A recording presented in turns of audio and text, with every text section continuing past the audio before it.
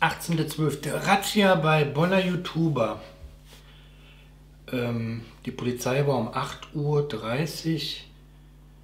in Bonn beim Bertner von Sutterplatz mit der Hausdurchsuchung beschäftigt, weil ein YouTuber gegen das Telekommunikationsgesetz ähm, verstoßen haben soll.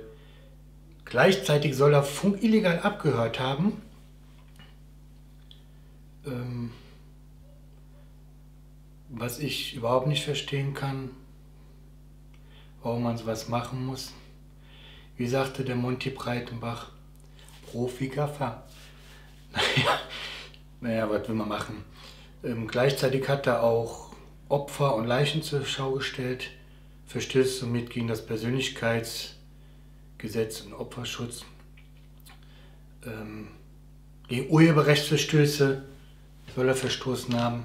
Dies habe ich alles aus Medienberichten und ich verstehe nicht, wie man das einfach so machen kann.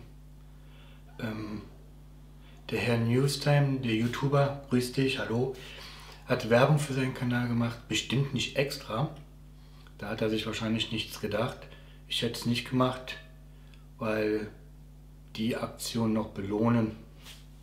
No, no, no.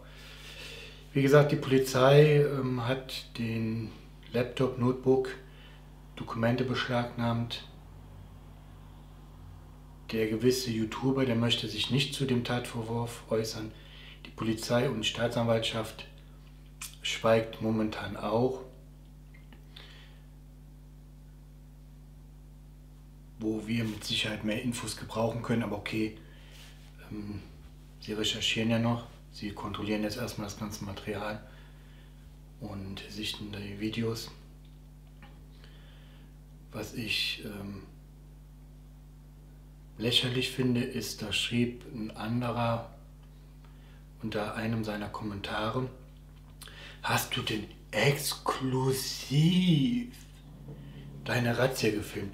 Und dann hat er geschrieben, nee, leider nicht, er dürfte ja nicht. Wie gesagt, wie krank muss man sein, dass man seine eigene Razzia filmen will? Ich würde erst kleine Brötchen backen und dann schauen, was man machen kann. Wie gesagt, Leute, ich halte euch auf dem Laufenden.